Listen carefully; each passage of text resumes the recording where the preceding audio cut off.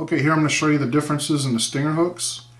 First one we have here, the loop is dipped in uh, a vinyl material and it's designed to be pierced by your hook and slid over the barb and it's held in place that way. Uh, if you walleye fish on the Detroit River in the end of March and into April, you know how cold it can be. And I believe that material uh, is just too stiff to work with. And particularly when you want to take it off. When you take it off, you got to slide it back over that barb. Now once you've done that, you've created an opening in that vinyl that's too large or bigger than what you need for that stinger hook to stay on your jig. Same thing goes for when the uh, fish is caught on that stinger hook alone. Just fighting the fish back to the boat is going to stretch that material out and it's again the hole's going to be bigger than what you need for that hook to stay on your jig. Also um, how that hook hangs like that. I don't I don't like that. I like when the hook is standing out on its own. It's going to stay out of the way of the bait. It's not going to interfere. And it's also not going to hang up on the bottom. Second one here is a little clip design.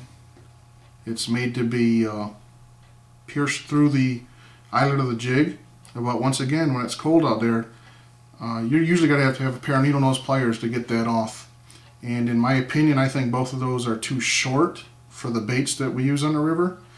And also, I believe that those two designs are the main reason most people don't use stinger hooks, uh, simply because they're just difficult to work with. I'd like to show you this one here. This is a quick slip stinger hook. I'm going to show you just how easy it is to rig the baits. Um, here we have a bait everybody knows, it's the Wyandotte worm. On the longer baits, we're going to put this on the main hook. You're going to cinch it down, puts that hook right there at the tail.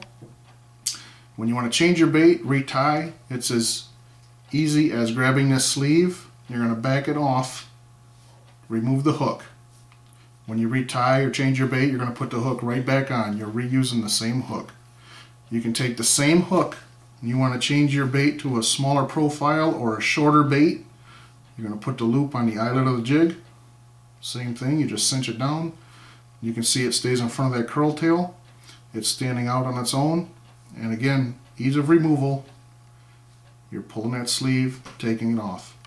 I highly recommend the use of a stinger hook on the river. Your percentage of fish in the boat will go up dramatically. A conservative number for me and my boat, I would say about 75 to 80% of my fish are caught on that stinger hook alone. Use the stinger hook, your catch percentages will go up.